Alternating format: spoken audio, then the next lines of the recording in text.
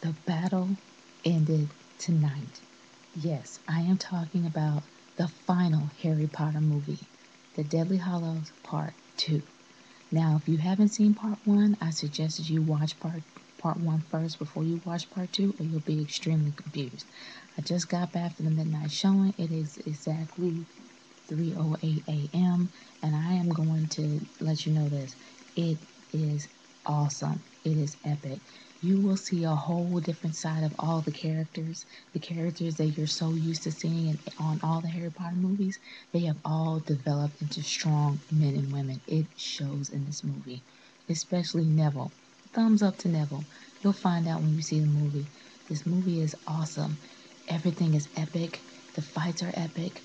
The the scenes itself are really emotional and you can definitely get caught into it.